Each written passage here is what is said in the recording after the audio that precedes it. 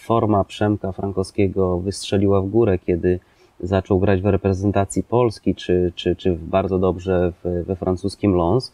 E, zdarza się, że kibice młodsi szczególnie, e, widząc to samo nazwisko, zadają mi pytanie, czy, czy jest to mój, mój syn. Wprawdzie mógłbym, e, mając swój wiek, go spłodzić, czy mieć syna w, w, podobnym wieku, bo on ma chyba 25 czy 26. Tak, tak, tak. Natomiast nie, nie jest to mój syn. W ogóle z raz może w życiu rozmawialiśmy ze sobą.